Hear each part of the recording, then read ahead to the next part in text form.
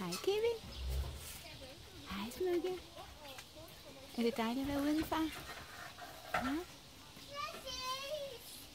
Er det dejligt at være ude? Hej skat. God tur. Hej, skal vi nusle lidt? Det er dejligt.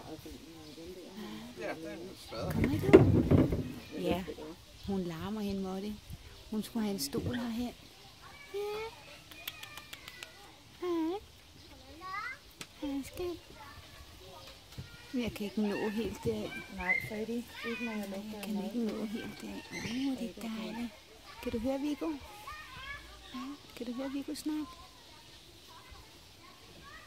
Jeg hører ham med. Uh, det er dejligt. Ja, det er dejligt at være i solen. Hvad? Er Hygger du dig? Ja, det er dejligt. Hej, skat. Uh, hvor du strækker dig.